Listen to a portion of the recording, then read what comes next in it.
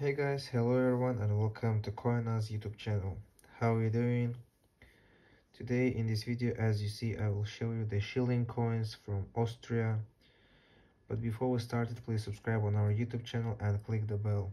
So, the first coin is one schilling of 1961.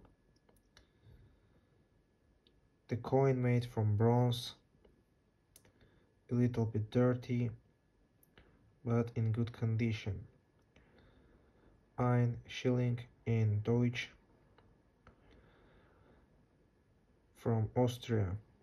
The weight of this coin is 8 grams diameter 21 millimeters and the price for this coin is 10 15 dollars depends on condition so if you have it 10 15 maybe 20 dollars you can get for it the next coin is one schilling of 1971 the same design as you see and the same reverse side. This coin a little bit darker as you see. So the price of 1971 one schilling coin is 15 20 dollars. If you have this coin 20 dollars you can get if you sell it. The next coin is 10 schilling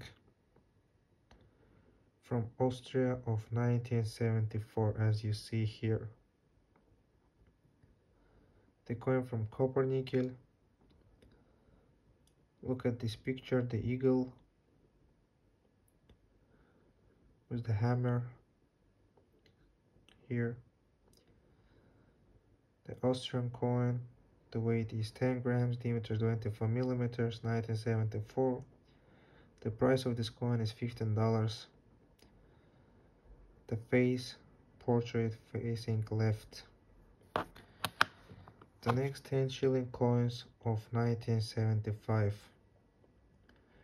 the same design so let's have a look at both of these coins.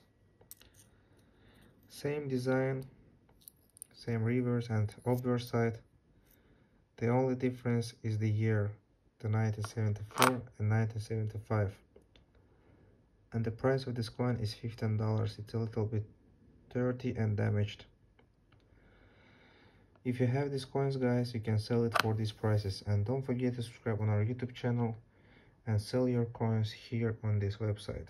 Thanks for watching guys and see you in the next video.